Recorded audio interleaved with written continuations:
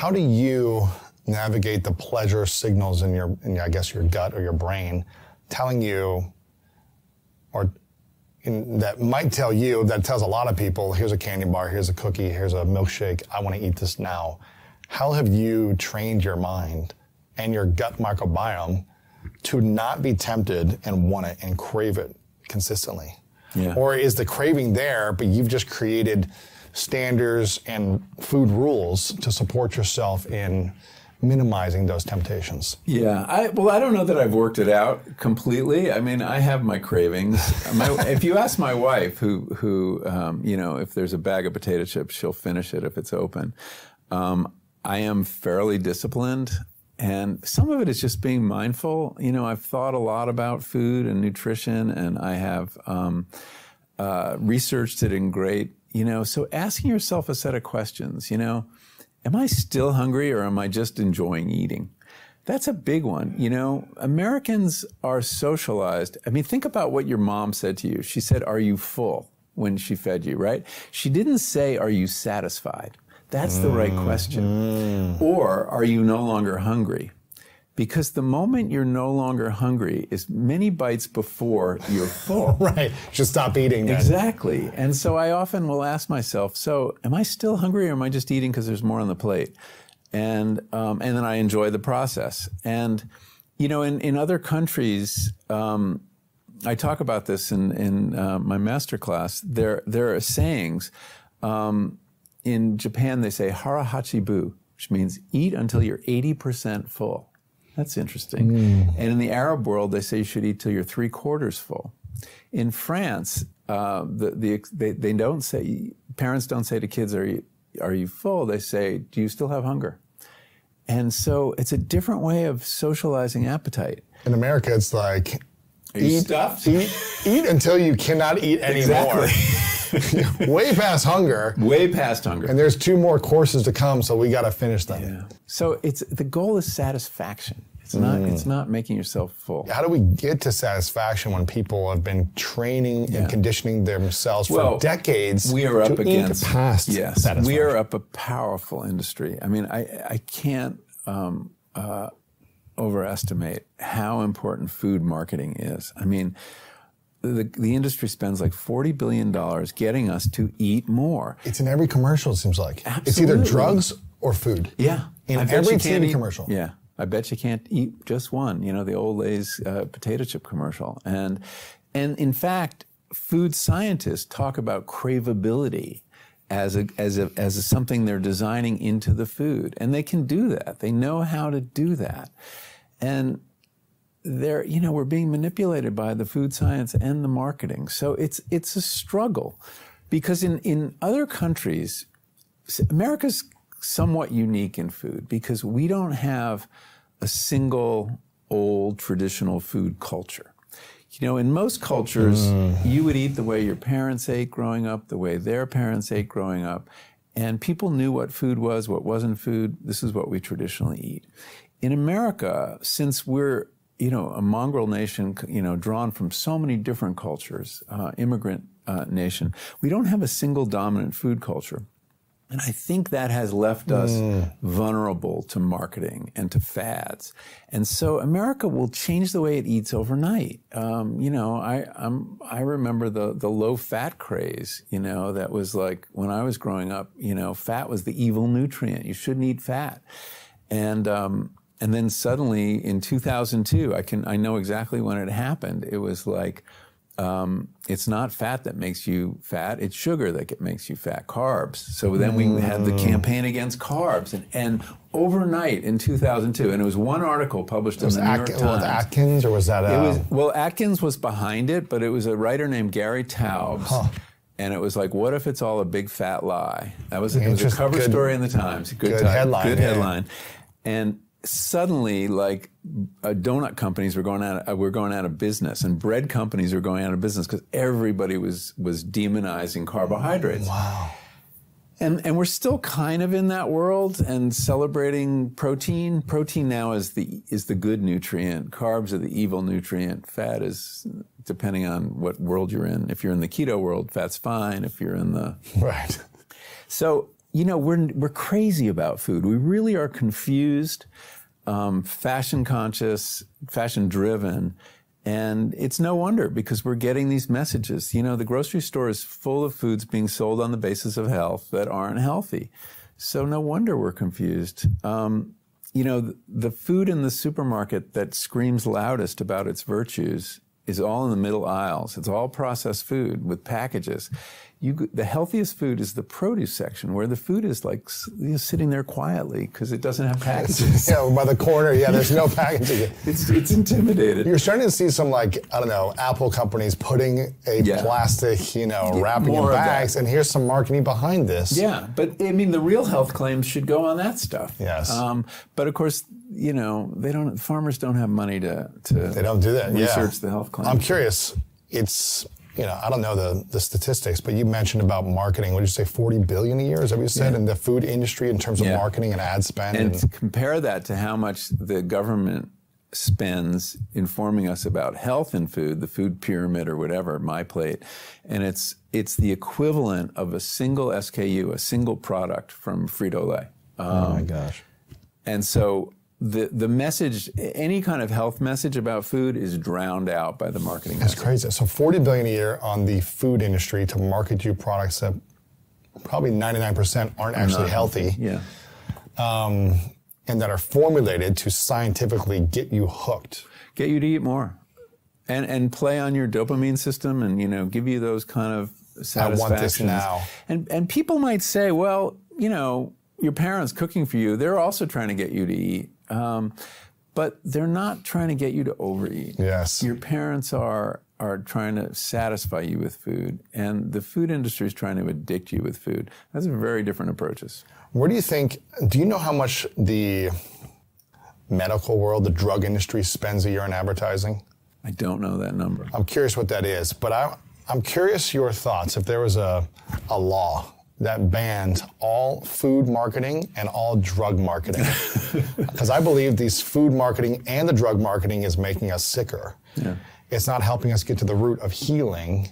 Uh, intuitively and organically, it's masking, it's putting over and layers confusing, of, and confusing, confusing you. It's, it's telling you you're going to get healthier, but it's not the case. If there was a ban against all food marketing and all drug marketing on everywhere, TV, yeah. podcast, everywhere, do you think the country would get healthier, or what do you think would happen if there was no marketing for food or drugs? It's a great question. I think we'd be a lot healthier. I think we would. I think culture would step into that gap, and culture has a lot of wisdom about food, and um, and we don't listen to it nearly enough. Or science would step into the gap too, with and we you know we'd get our scientific information not from pharmaceutical companies as we do now. The other interesting phenomenon though is how much of those pharmaceutical products you see advertised on TV are expressly designed to undo the effects of a diet. Right. Yeah, and uh, it's a lot of them. Everything for diabetes is about dealing with type 2 diabetes is a product of the food system, right? I mean, rates have gone up with obesity, um, and that we are spending. So we spend about three quarters of all all spending in healthcare goes to treat chronic diseases of that, how now, much some is that of related it is to smoking, food? some of it's smoking and alcohol. If you take out alcohol and smoking, how much is related to food? It's something like five hundred billion dollars out of seven hundred fifty billion dollars. Oh my gosh! Um, it's a huge number. But how much is, of chronic disease is related to food and nutrition? Most of it. Most of it. Versus smoking or drugs or alcohol. Yeah, so most of it. 80, 90%? Food, no, the, the American diet, the standard American diet is what is killing most of us. That is what most people die of. Um, and, and I'm talking about several types of cancer that are linked to it, heart disease obviously linked to diet, and diabetes, which has become a really big killer. It is it is the way we're eating that is doing this to us, mm. and that we could save a fortune by changing the way we eat in, in healthcare spending. Um, and no doubt we could improve longevity as well. it's it it's the elephant in the room is the American food system, and we all take it to be as like normal, and and the food still looks the same. Pizza looks like pizza, and you know these you know convenient frozen dishes in the in the grocer's freezer, but it's not the same. That that you know that packaged ravioli or tomato sauce is not what those things were or should be. Right. So. Um, in a way, it's the, an easy fix and it's a hard fix. I remember I was speaking, I was giving a speech to a group of health insurance executives, um, and I was trying to enlist their support for reform of the food system, which is one of my causes. And, they don't want that, though. Well, why well, it, the reason it was very interesting, and I was saying, you know, you guys should be allies of the of the food reform movement because every case of type two diabetes you prevent is $400,000 to your bottom line. That's how much it costs to treat each case over the life of that person. 400,000. $400,000 for Holy something that can be completely prevented. And one of the presidents of these organizations came up to me after and says, "You don't understand we don't have a long-term interest in your health because the churn. Oh my gosh. because the churn, because medical uh, contracts for medical insurance are only one year, and people are constantly switching plans, and companies are constantly switching plans. So we don't, you know, you're talking about something that is going to benefit you over years, and we don't care about that.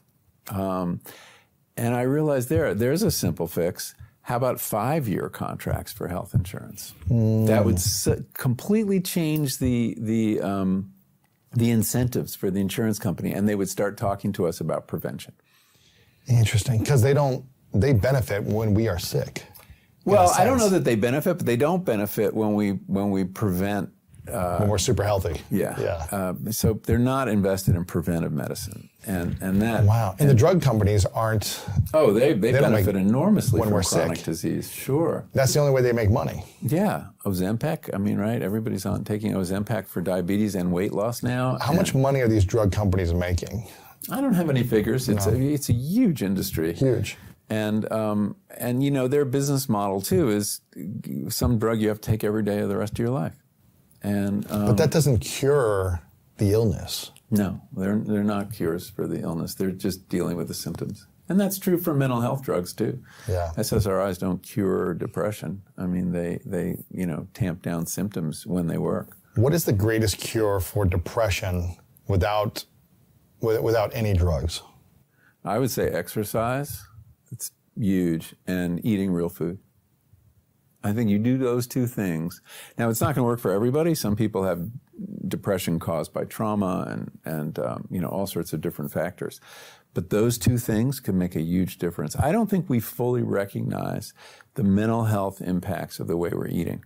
When you're eating a diet that is, for example, has lots of sugar in it, you're going to be on an emotional roller coaster. I mean, watch kids with sugar, you know, and um, they think that chocolate or this kind of sweetened cereal makes them happy, and it does for a little while, but Five they minutes, crash. And yeah. chaos. and that's true for us too. We have these ups and downs during the day that have a lot to do with um, with our sugar, you know, intake. And um, and then when we you know we we get this spike and it has to do with glucose release and things like that, and then we crash, and the solution to that is more more sugar. So snacking is another thing too. Where you know meals meals are like a, a really good human institution. snacking, you know, we're eating, you know, all day long. How bad is snacking for our our our gut microbiome, for our brain, and for our overall just metabolism? If we're eating meals and then snacking a little bit here and there in between. I mean, I don't think snacking is like evil or anything, and I think a lot depends on what you have. Um, uh, I snack. I'm a writer, so you know I'm at my desk. I'm supposed to get up. That's the other. That's the competing value, right? You should stand every half hour yeah, and move a little bit. And where do you go? You go to the you go to the kitchen and grab a little. And you, you heat up your coffee or pour a cup of tea, and then you have you know I'll have some some nuts or some. I'll have a handful of nuts or dried fruit. Yeah, definitely. And I'm not like Obama. I don't count my almonds as he allegedly did. Uh-huh. so. Um, so I, I think snacking you kind of lose you lose sight of how much you're eating. Um, it just becomes kind of invisible. Um, so I mean, I think it's something that people have to be careful about. But I, I don't I don't believe in being punitive uh, about it. But I think eating meals with other people, you know, we're talking about food as if it's this transaction between us and this stuff, but meals, eating with other people affects how you eat you you know when you're eating with other people you put down the fork and talk and then you pick it up and there's more time. And the more time you spend eating the more likely you are to know when you're full. Mm. it takes 20 minutes for the body to send you the news like enough we're 20 full. minutes. 20 minutes. So if you're eating really fast you're defeating that signal and so you're eating too much. But if you have a leisurely meal, you're much more likely to, to realize, you know, I think I've had enough. It's interesting because I was just having a, a breakfast meeting this morning, and it probably went for about an hour and a half, right? And it was a great meeting and meal because I noticed that I did not finish my plate. Mm. I had, you were engaged. You were I was engaged. I was talking, and then I'd eat a little bit when they were talking, you know, and, and have a few bites, and then I would you know, have my fork here with food and be like talking to them and just like, okay, let me listen, and engage. And it got to the point, and I didn't have a lot. I had two eggs, scrambled eggs. I had a couple pieces of bacon, and I had some, you know, potatoes, kind of the standard mm-hmm. breakfast. breakfast. Yeah, exactly, yeah. right. Um, and I and I was eating the potatoes, and I was like, huh, okay, I'm getting pretty full. And I just left the last potato, and I was like, let me just experiment. I left it on the table, and I could have eaten it easily. Yeah. But I left it because I was like, I actually feel pretty satisfied. Well, that clean plate ethic is really bad. I mean, why? I mean, when you're done eating, it's okay if you leave something on the plate. And in fact, it's a good practice. Just make a point. I'm not going to eat the last thing on my plate. Just really? as, a, as an exercise. Now, what if yeah. you're like, well, I don't want to waste food? Well, yeah, I know, and that's what we were brought up. People are starving in Korea or whatever. Yeah, yeah. Know, the thing you heard from your parents. So you it's not going to help them if you leave a potato. Maybe you should take less at the beginning, or maybe right. the, you know portion size is a huge problem. Huge. Don't we, get the appetizers. Don't get the desserts. You know, have. We tend to think that the amount of food put in front of us is the proper amount to eat. It's usually probably double what we're yeah, supposed to eat. And and for food for restaurants, they've learned that um, we appreciate ampleness and the cost of the food is one of their lowest costs. And so they give us portions that are too big and we we compliment a restaurant for having big portions. Um, you feel like you're getting more for your value yeah you feel, you feel you're getting good value. And uh, and the economics definitely work for the restaurants but uh, it doesn't work for us um, so we end up big portions are definitely part of part of our problem so you mentioned before you know two great ways to minimize or decrease depression for a human being is healthy nutrition and exercise. exercise yeah. Those two things. Yeah. If someone is getting some sunlight is really good too. Sunlight, probably know? probably quality sleep as well really oh, helps. Oh yeah, I mean, it, people who are depressed often have trouble sleeping. But one of the ways to fix your circadian rhythms is make sure every morning you you look at the sun, you go yeah. outside, even if it's cloudy, just look at where it should be, and that that that information comes through your eyes to your brain and kind of sets your clock and it will improve your sleep. Yeah, Dr. Andrew Huberman has done a lot of research on yeah, that and, and preaches it almost every day yep. about the research. That and, and breathing, yeah. He says that's the number, his number one health tip is get outside and look at the sun. First thing in the morning, yeah. right? Yeah. Not when it's already up and you no, can't look I mean, at it. And, it's, it's okay if you didn't get up at dawn, but you know, before midday. Yeah, get up for 10, 15 minutes and look yeah. towards the sun, right? Just allow your eyes to gaze towards it. And you'll be getting outside, and you'll be getting some vitamin D because we spend way too much time inside. Yeah, being being outside is you know, I mean, exercising outside I think is better for us than inside. What do you think is the root cause of depression? Why someone could get depressed or chronic depression? Because we all go through sadness and grief sure. and loss and heartache and you know relationships and deaths and you know career ending things like that where there might be a, a a well, season of sadness, yeah, but the chronic depression, what is the root cause of that? I don't think we know. Uh, you know, there are people looking for genes implicated in depression. They have not had success finding them. Um, there is depression caused by events. Uh, people with a cancer diagnosis get depressed. We understand exactly why. Mm-hmm. And if they're healed or cured, their depression might lift. But then you have other people, and I've interviewed them in my in my research on psychedelics, who've been depressed for 30 years without a break And I don't think we really understand that. They're sold as plant based. And I would always watch out for that phrase because it, it, can, it sounds really good. It has an aura of health around it. But how about just plant?